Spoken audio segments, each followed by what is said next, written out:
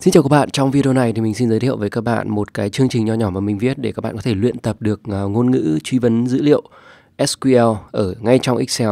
Thực ra đọc SQL là sai, chúng ta phải đọc là SQL.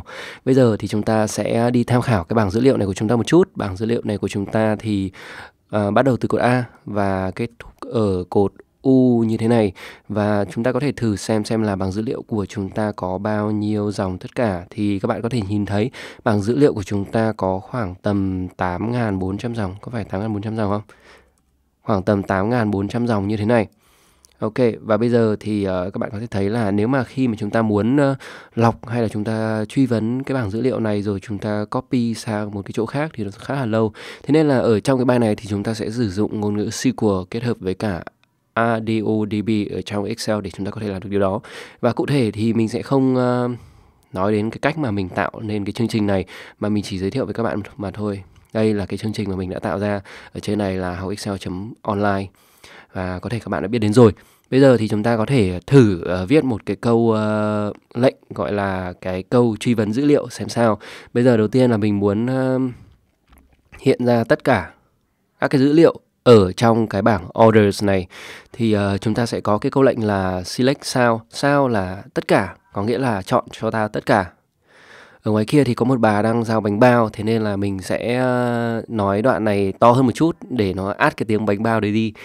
À, bây giờ thì chúng ta có thể thử bấm cái nút run SQL ở đây. Thì để xem xem là ở trong cái sheet console này thì chúng ta sẽ ờ, được cái kết quả như thế nào. Và các bạn đã thấy được là chúng ta đã copy được 3 8.399 dòng một cách rất là nhanh chóng, chỉ trong 422 giây mà thôi. 422 mili giây có nghĩa là chưa đầy một giây, chúng ta đã copy được từng này dữ liệu rồi. Bây giờ thì chúng ta sẽ thử xem xem dữ liệu của chúng ta từ cột A đến cột U. Ok, đúng rồi. Và bây giờ bấm Alt xuống dòng. 8401 Ok, như vậy thì đấy là cái ví dụ thứ nhất là chúng ta có thể copy được toàn bộ dữ liệu nhưng mà chúng ta sẽ rất là ít khi quan tâm đến cái ví dụ này bởi vì là chúng ta sẽ cần à, một cái điều kiện lọc gì đó chẳng hạn. Ví dụ chúng ta muốn trả lời cái câu hỏi là um, bây giờ chúng ta chỉ muốn lấy ra một số cột thôi chẳng hạn thì chúng ta sẽ làm như sau. Chúng ta sẽ viết câu lệnh là select này, chúng ta muốn lấy ra cột là product name có nghĩa là tên cái sản phẩm của chúng ta bán sau đó là profit của cái sản phẩm đó. Và chúng ta lấy ra từ đâu? Chúng ta lấy ra từ cái vùng A1 cho đến U42000 của cái sheet orders này.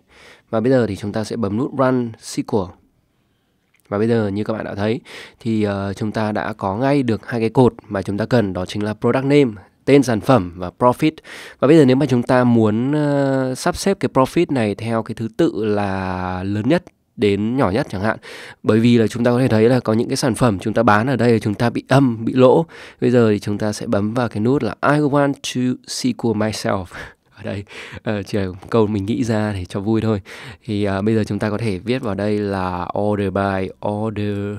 Cách ra một cái by by cái gì? By profit chúng ta sẽ cho cái profit này vào trong cái dấu ngoặc vuông như thế này. Ok và bây giờ thì cái dấu profit này chúng ta muốn order là từ lớn đến bé thế nên chúng ta sẽ cho desc có nghĩa là descending vào bấm run SQL một lần nữa. Thì chúng ta có thể nhìn thấy được ở đây là uh, tạm thời tắt cái bảng này đi.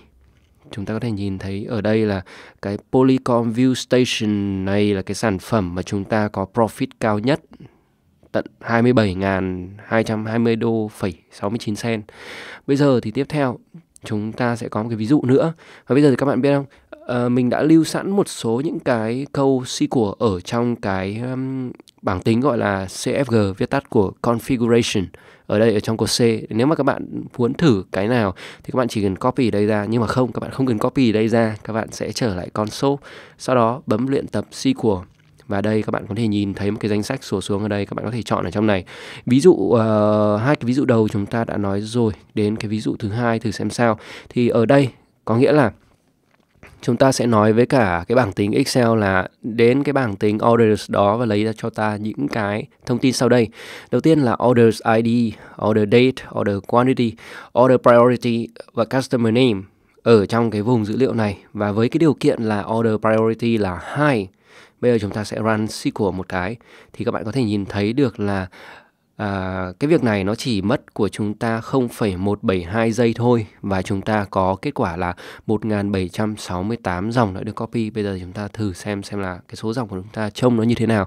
Và như các bạn đã thấy cái điều kiện ở đây là order priority là high của chúng ta đã nhìn thấy ở đây rồi.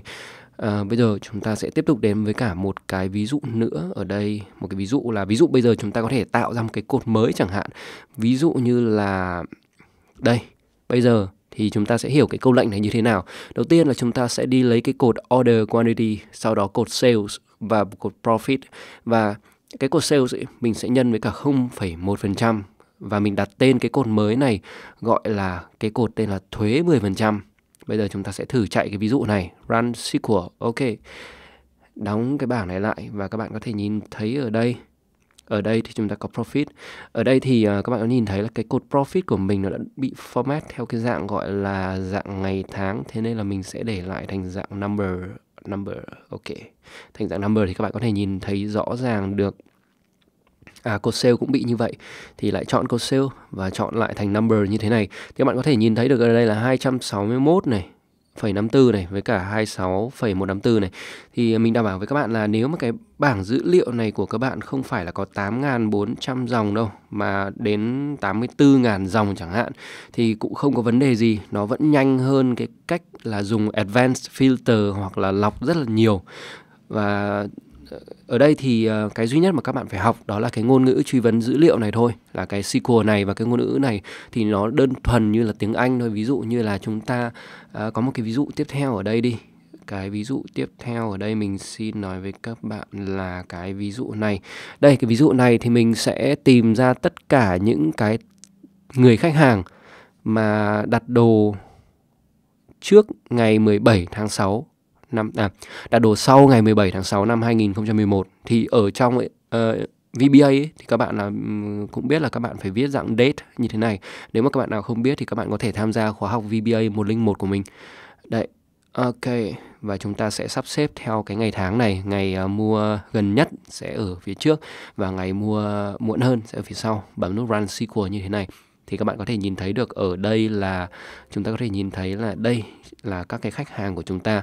Và cái ngày mua gần nhất là ngày 30 tháng 12 năm 2012 và cái ngày mà chúng ta dùng làm điều kiện ấy thì nó là ngày 17 tháng 6 năm 2011 thì nó ở cuối cái dãy này. Bây giờ thì ờ, mình nhớ là mình có một cái câu SQL nữa để mình giới thiệu với các bạn đó chính là cái câu uh, câu cuối cùng này. Ok câu này có nghĩa là mình sẽ đi uh, tìm cái max profit và tất nhiên là mình không có cái cột max profit có nghĩa là cái cột mà lợi nhuận lớn nhất ở trong cái bảng tính của mình. Nhưng mà mình sẽ tìm cái max profit này với cái anh uh, khách hàng mà có tên bắt đầu bằng chữ Carlos như thế này. Mình bấm run SQL một cái thì các bạn có thể nhìn thấy được là max profit uh, chắc chắn là nó phải dạng number mình lại phải chọn lại dạng number ở đây thì uh, có nghĩa là anh Carlos này cái lần mua hàng của anh ta ấy thì đã mang lại cho chúng ta profit lớn nhất là 5.353,19 à, đô la đó thì uh, mình nghĩ là đây là một cái video để các bạn có thể hình dung được là chúng ta sẽ sử dụng SQL ở trong Excel như thế nào. Cảm ơn các bạn đã theo dõi và xin hẹn gặp lại các bạn ở trong các video lần sau. Mình xin các bạn khoảng tầm nửa phút nữa. Ở đây là một cái ví dụ mà mình đã cho rất là nhiều dữ liệu thêm vào, có nghĩa là khoảng tầm 42.000 dòng. Bây giờ chúng ta có thể thử xem xem là cái uh, luyện tập SQL của chúng ta nó hoạt động có tốt hay không. Chúng ta sẽ sử dụng là select toàn bộ uh, những cái cột dữ liệu ở bên ờ, uh, A1 cho đến U42000 và chúng ta sẽ bấm run SQL và các bạn có thể thấy được là thời gian thực hiện là khoảng tầm 2 giây cho cái truy vấn này và chúng ta đã copy được 42.000 dòng sang bên cái sheet console này. Cảm ơn các bạn.